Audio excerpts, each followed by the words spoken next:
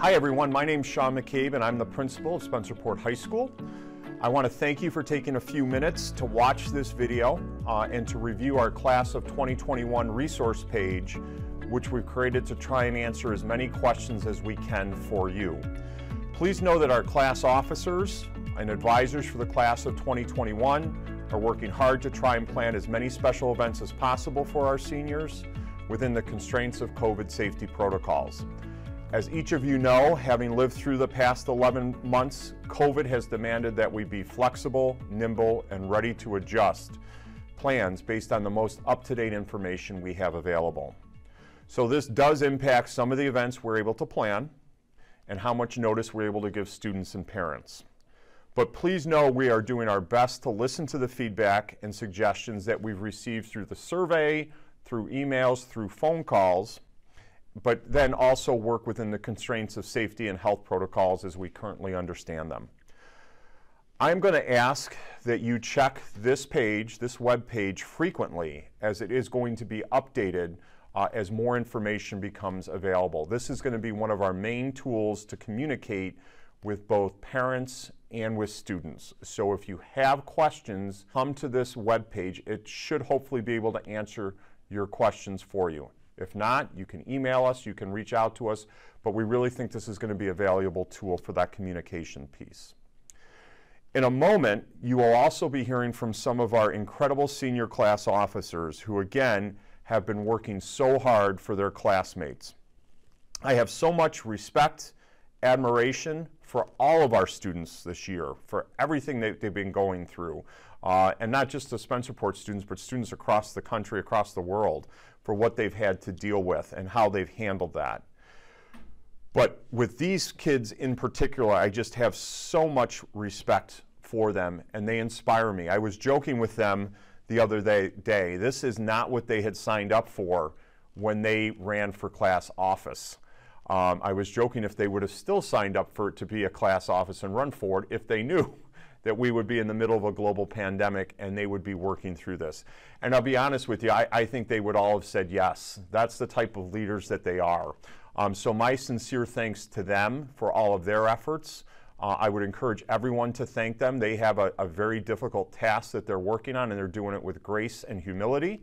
Um, and again, I could not be more proud of them. So They'll be talking to you uh, and giving you some information from their perspective as class officers.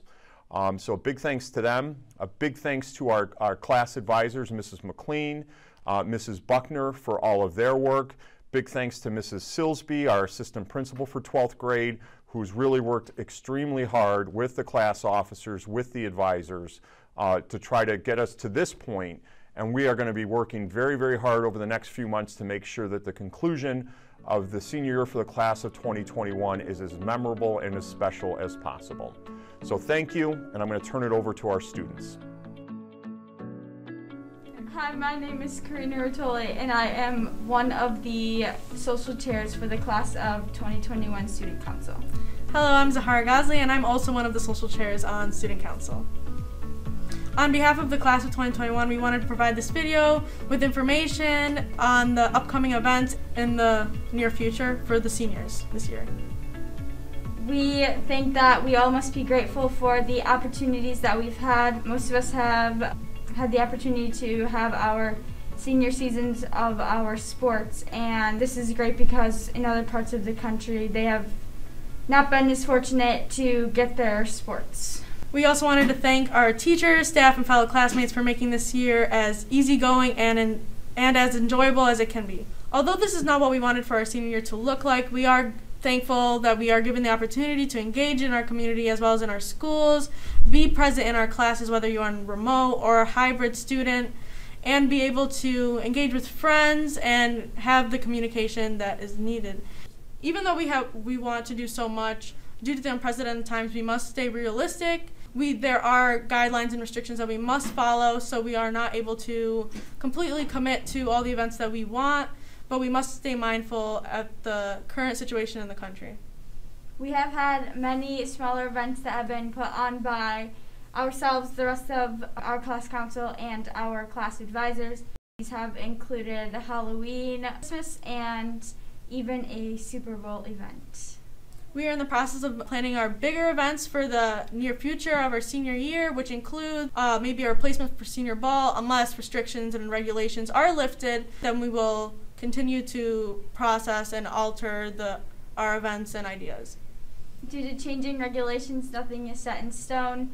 However, we would like for you guys to provide us with any feedback or ideas you may have on the link below.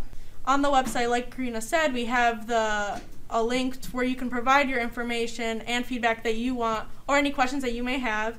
And we want to say that on the website as well there is information regarding all of our events and our process that we are going through to commit and make the events. So if you have any other questions that we may not be able to answer, they could be on the website. So make sure you check it out frequently.